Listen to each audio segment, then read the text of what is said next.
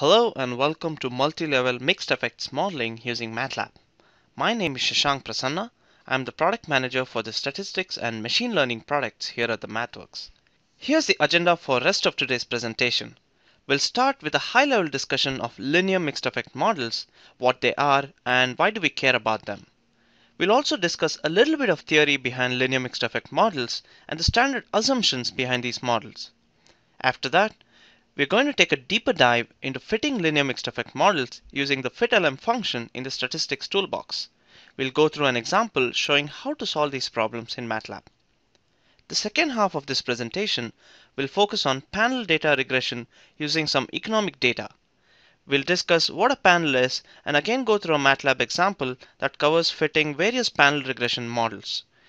This will be followed by some key takeaways ending with a Q&A session. The only prerequisite for this presentation is basic familiarity with simple linear regression. With that said and done, let's get started. An idea that is central to this topic is the concept of group data. For example, consider that you want to analyze SAT scores of students across the country. This data can be grouped by schools the students attend. The schools may then be grouped by the states they are in, states in region, and so on. Students in a particular school or state are affected by school or state specific factors such as maybe quality of education in a school or education laws in a state. Grouping information is important to make meaningful inferences on this type of data and they commonly occur in several experimental and observational studies. With that in mind, let's take a minute or two to quickly go over the concepts of linear mixed effect models. If you are already familiar with this topic, this can serve as a quick refresher. So what are linear mixed effect models? It can simply be defined as an extension of linear models for data that are collected and summarized in groups. Consider for example, you have GDP data for different states collected over time. If you were to fit a simple linear model with an intercept and slope, you'd likely get a fit like this. This is obviously not a great model because it completely ignores the group nature of data. In mixed effects terminology, such models are known as fixed effect models. They're called fixed because the estimated parameters beta 0 and beta 1 do not vary with observations or groups. Now consider a mixed effects model. Let's break this down and take a closer look so we can relate it to the fixed effects model on the left. The first half of this equation looks familiar and represents fixed effects.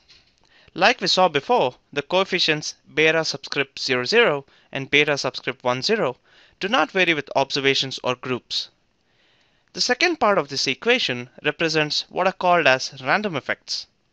Here we have a random effect coefficient for the intercept b subscript 0j and random effect coefficient for the slope b subscript 1j. The subscript j is an indication that these coefficients are associated with a particular group or observational or experimental unit. In our case, it's the state. And what makes them special and different from fixed effects is that they are random variables with a prior distribution, and they represent a random variation around the fixed effects for each group. Fixed effects and random effects together are called mixed effect models, and they're very well suited for group data. So we've talked about what linear mixed effect models are. So why should you use them? In short, they're simply more accurate representation of group data. Linear mixed effect models can make better prediction and forecast even when the groups have unequal number of observations. Linear mixed effect models fit fewer parameters compared to fixed effect models and are less subjected to problems like overfitting. You can also make inferences about the population of groups rather than just the sample used to fit the model. Let's now go through a code example and see how we can fit these models in MATLAB. For the first example, the objective is to model and forecast GDP of states in the US. We'll consider the response to be the log of GDP by state. The predictors are the years from 1970 to 1986 for each state and the grouping variable here is state and we have 48 different states. The approach we'll take is to fit simple fixed effects or ordinary least squares models to begin with and then fit linear mixed effect models and perform diagnostics and compare different models and see how we can improve the forecast results. So let's jump into MATLAB and get started. I'd like to start by showing you the final results of our example. What I have here is an HTML report that was automatically generated by MATLAB from my example script. It includes table of contents and hyperlink to sections, including all the visualizations that were generated by my analysis. Let's scroll all the way to the bottom and take a look at the final results. The figure shows a comparison of GDP forecasts for two different approaches. The left is the fixed effect model and the right is a linear mixed effect model. The solid circles indicate observations that were used to fit the model and empty circles in indicate observations that we deleted from the model. The forecast confidence interval shows that the linear mixed effect model gives you a much more confident forecast even in the presence of missing data. Linear mixed effect models also give more accurate forecasts and are less affected by missing data compared to fixed effect models.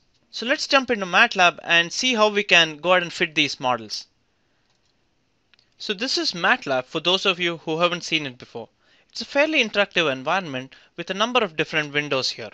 We'll talk about each of these as and when they become relevant. Let's start with the current folder window here. This shows all the files and folders on my computer and the data we want to work with today is called uh, public data and it's a spreadsheet. So let's open it up outside of MATLAB to see what the data looks like. So the data set consists of several different economic variables including GDP for each of these 48 different states and also contains the time intervals for each of these observations. You can find more information about this data set at the following reference. So let's start by pulling this data into MATLAB. The easiest ways to do that is to right click and call import data or alternatively you can also drag and drop this file into the command window. This is the import tool which can be used to pull in data from spreadsheets, text files, CSV files and so on. It also automatically recognizes the headers and extracts them for you. For this example, I'm interested in the state, the year and the GDP data. So let me go ahead and pull this data I'll choose table as the data container, which is a well-suited container for this sort of heterogeneous data when you have textual as well as numeric data. When I'm ready, I can go ahead and pull this into MATLAB.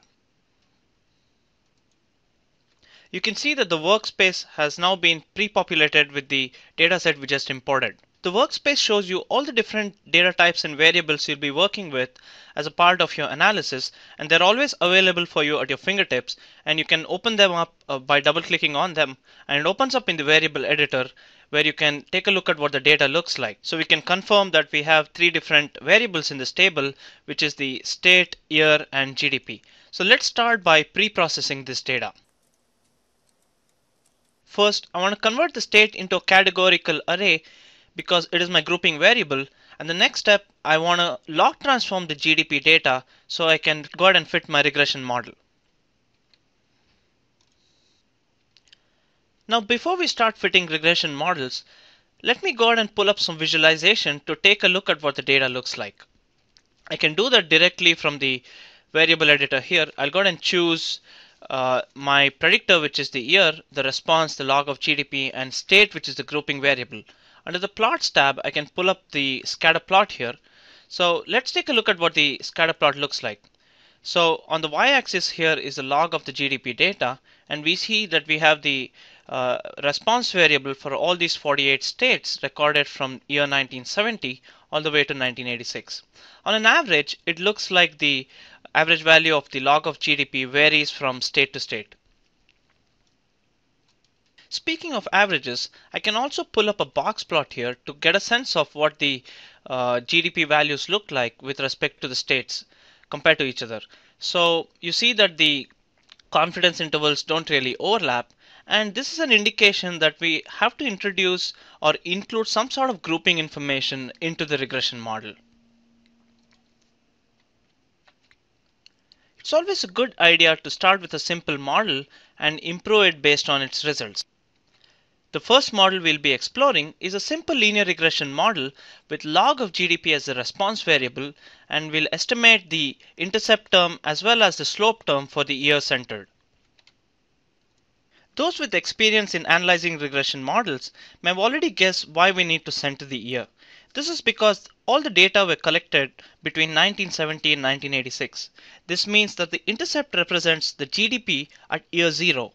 This causes a high negative correlation between the estimates of the slope and the intercept. We can remove this correlation by centering the year as follows. The fitlm function in the statistics toolbox can be used to fit simple linear regression models. If you're unfamiliar with this function, you can use the function browser for function recommendations or pull up help documentation to learn more.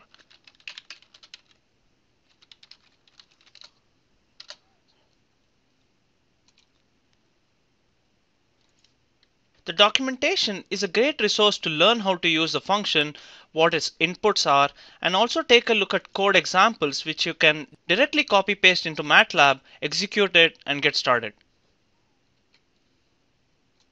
Let's go ahead and execute this model and see what the results look like.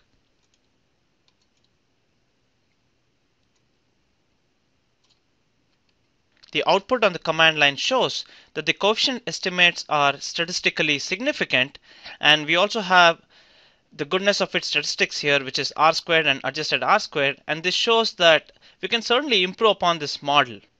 One way to deal with group data is to go ahead and fit separate linear regression models for each group. In this section of code, we'll do exactly that and take a look at a visualization which shows the confidence intervals for the coefficient estimates for the intercept and slope for each group.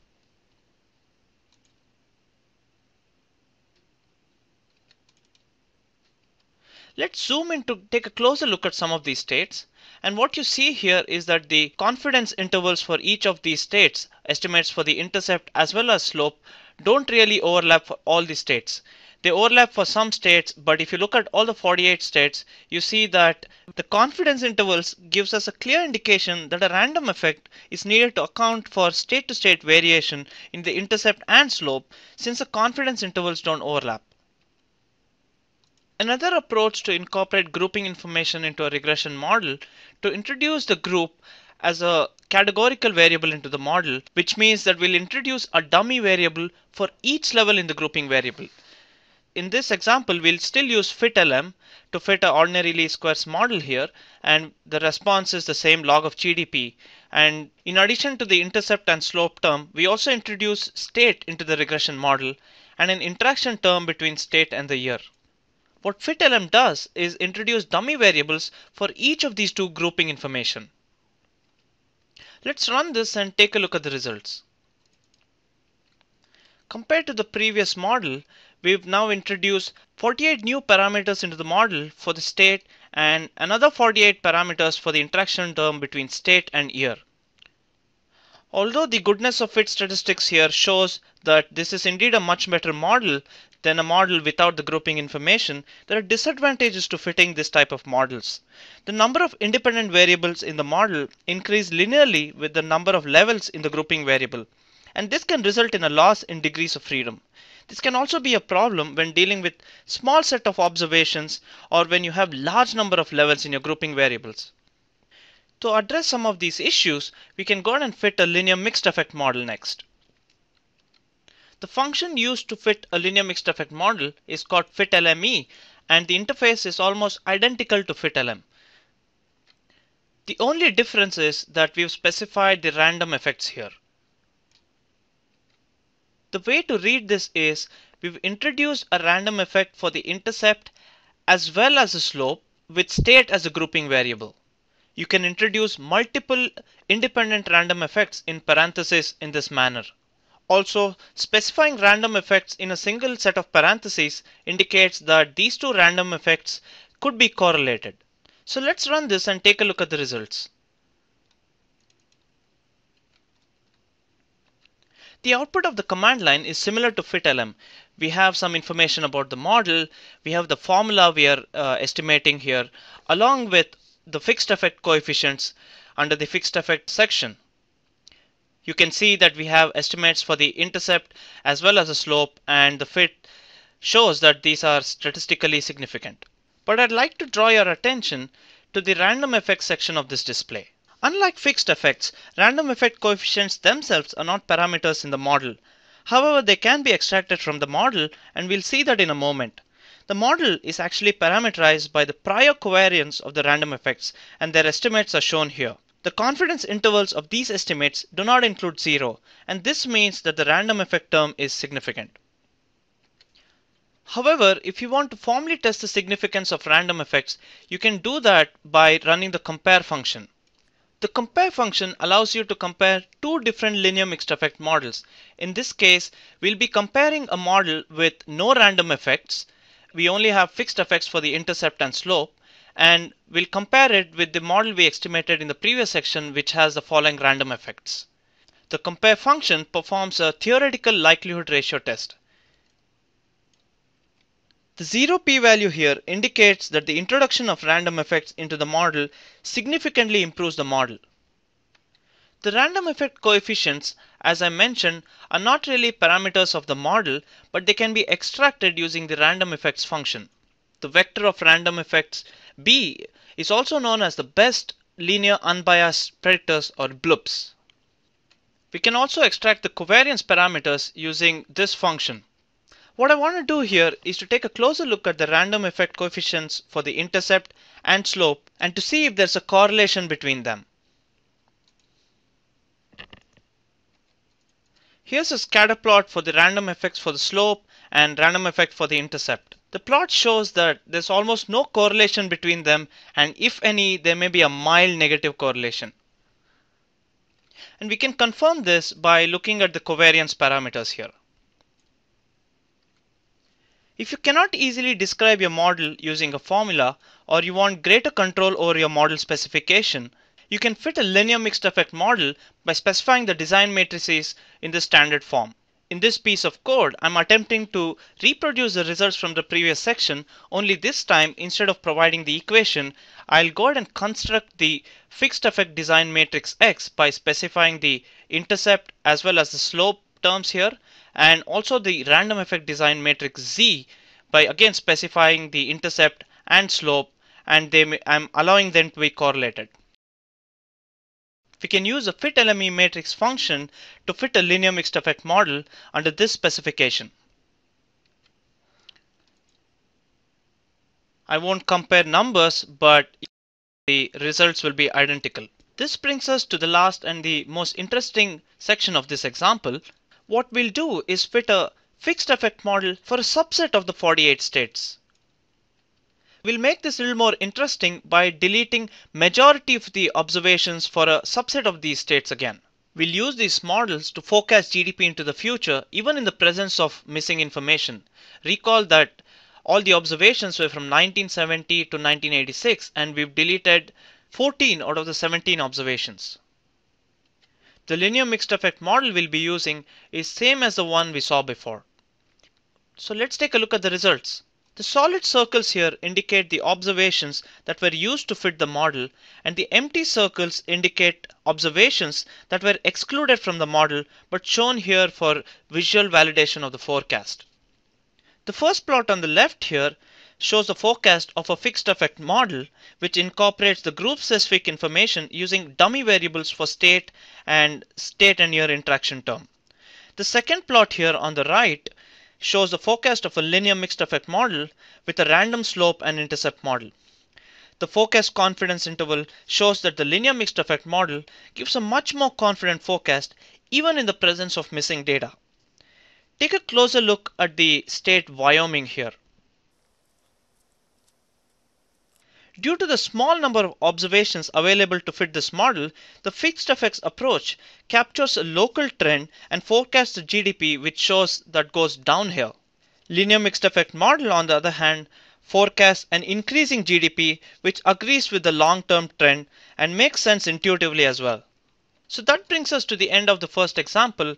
So let's go back to the slides and do a quick recap.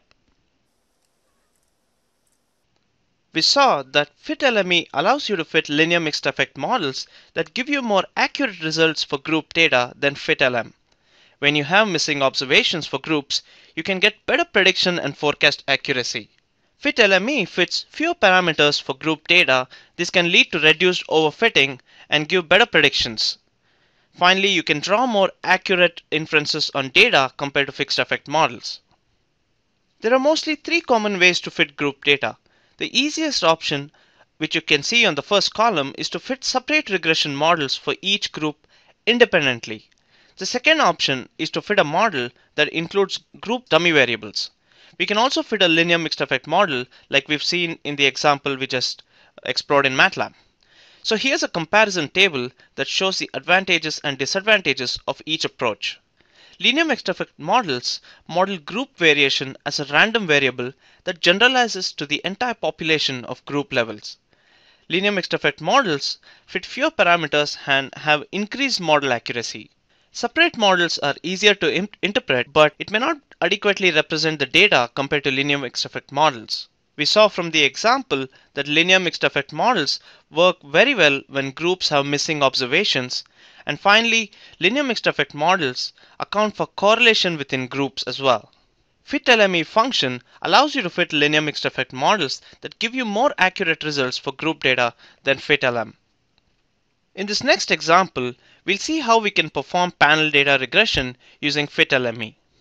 Panel data is widely used in economic studies, so let's take a look at what a panel data is.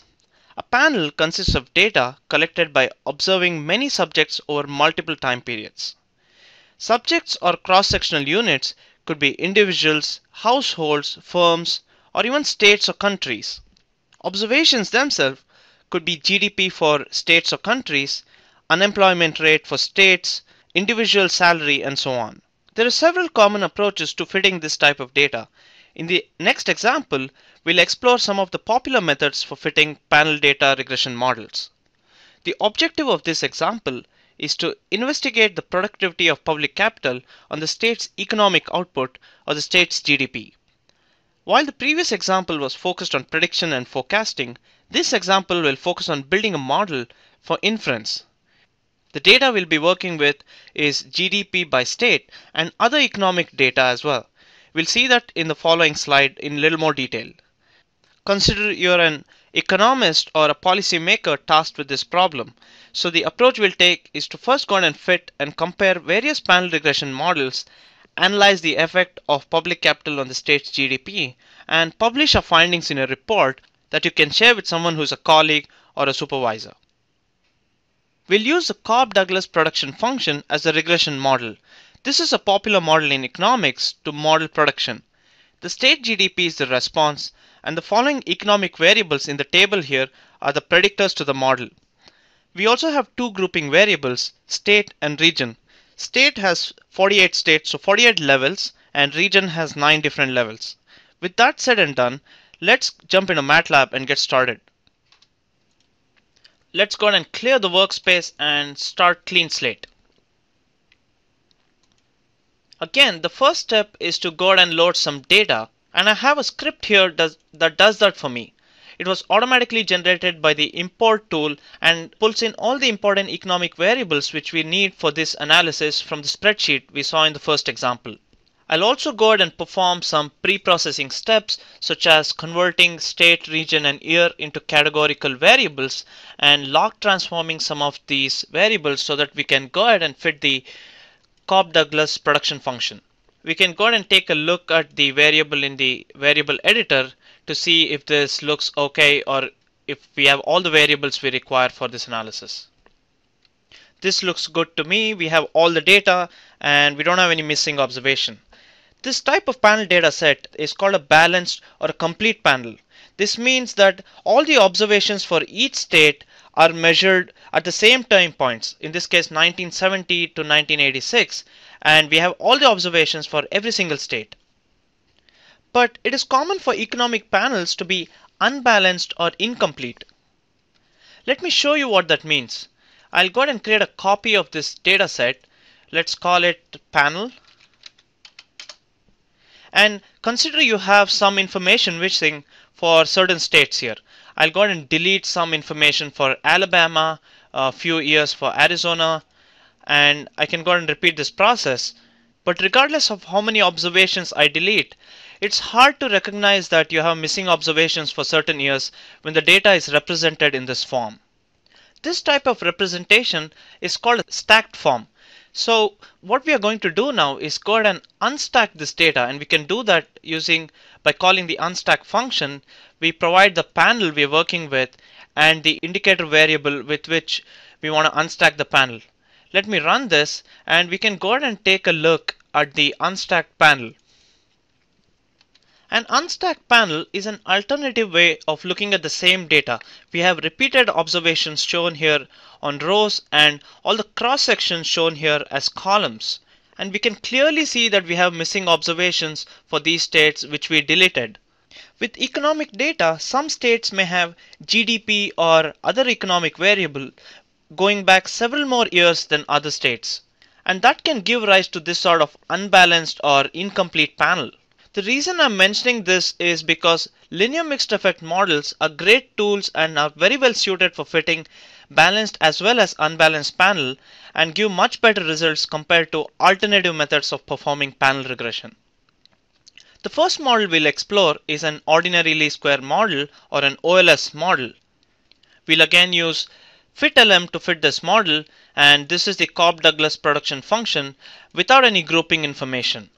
OLS models are also called pool OLS regression models since it combines the cross-section and time series aspects of data. They're also referred to as population average models and the assumption here is that all the statistical requirements for OLS are met. Let's take a look at the coefficient estimates on the command line. The OLS model reports that the public capital is productive and plays an economically significant role in the state's output. The inference here can be that at the state level, the public capital has a significant positive impact on the level of output and does indeed belong to the production function. The p-values show that the fit is statistically significant. As we discussed before, it should be noted that pooled regression models such as these lead to underestimated standard errors and inflated t-statistics, and therefore the resulting inference may not be valid.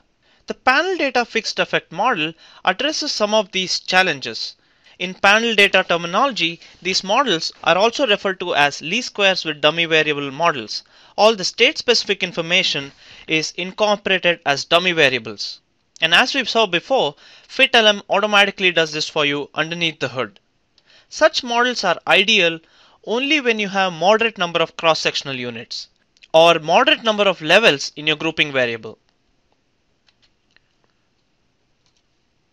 In contrast to the OLS model, the least squares with dummy variable model reports that the public capital estimate is not economically significant in the state's output. However, in addition to the disadvantages of introducing dummy variables in the regression model, as we already discussed in the previous example, here we notice that the estimates for the public capital is also not statistically significant. The next panel regression model we'd like to explore is called a one-way random effect model. Here we retain all the fixed effects as it is and introduce a random effect only for the intercept term. Again, in contrast to the OLS model, a mixed effect model with state-specific random effect finds that the public capital is economically insignificant in the state's private production. But again, we notice that the fixed effect coefficient is not statistically significant. In panel data analysis, mixed effect models such as these are also known as error component models, random coefficient regression models, covariance structures models, as well as multi-level models. An important aspect of fitting an accurate model is to introduce the right set of predictors. We can attempt to improve upon this existing random effect model by introducing three new predictors, highway, water, and utilities. But economically, these are constituents of public capital or public capital is the sum of these three variables. Let's take a look at the results of this model. Here we notice that the log of highway, water and utilities estimates are statistically significant. The log of utilities appears to have a negative economic impact on the state's output. To formally test if this is indeed a better model than the previous model, we can perform the theoretical likelihood ratio test and see what the p-value looks like. the p-value of the likelihood ratio test is close to zero. This is an indication that this model is a significant improvement over the previous model. The next model we'll explore is called a two-way random effects model.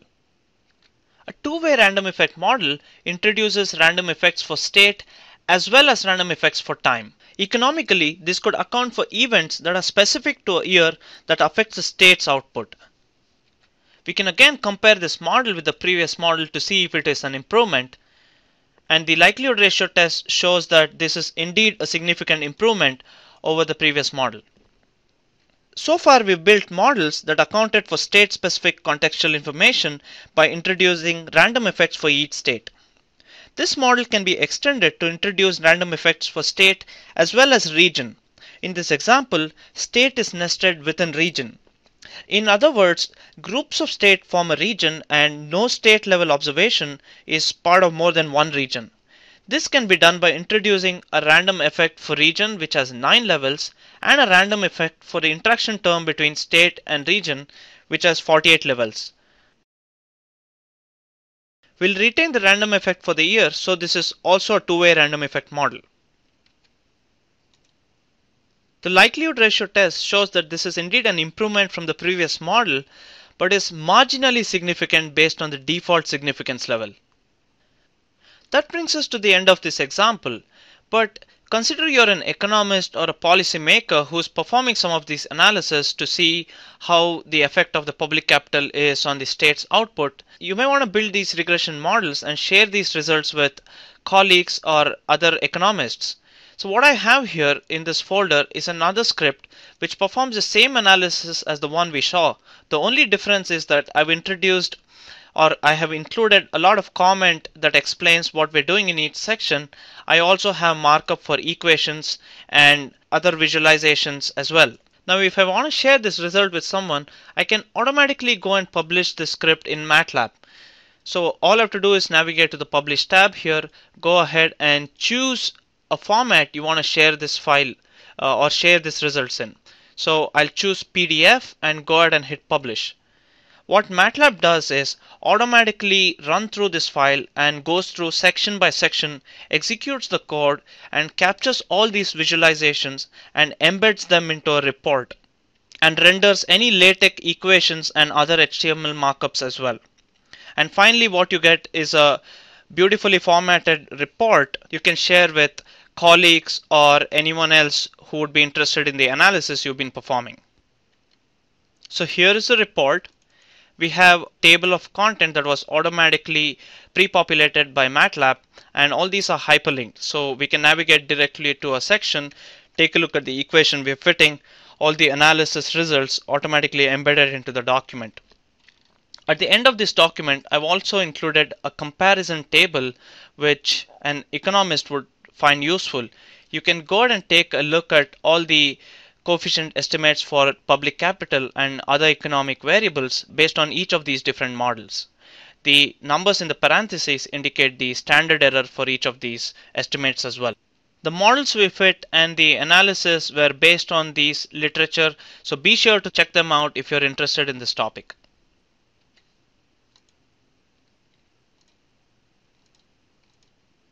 We saw that we could specify, fit, and compare various types of panel regression models. We explored fixed effect models, one-way random effect and two-way random effect models, and also nested and hierarchical models. MATLAB offers convenient regression interface whether you're fitting ordinary least squares model or mixed effect models. We saw that there are plenty of visual diagnostics that are easily accessible at a click of a button. You can also compare and improve models visually or by performing statistical hypothesis tests. Finally, we can publish and share results automatically from MATLAB without spending additional efforts in documenting the results. If you're interested in learning more, please take a look at the product documentation. There are plenty of examples that can help you get started. Also, feel free to visit the product page. There are lots of videos and examples on related topics you may find useful. And finally, if you found this MathWorks webinar useful, there are a number of others that I would strongly recommend.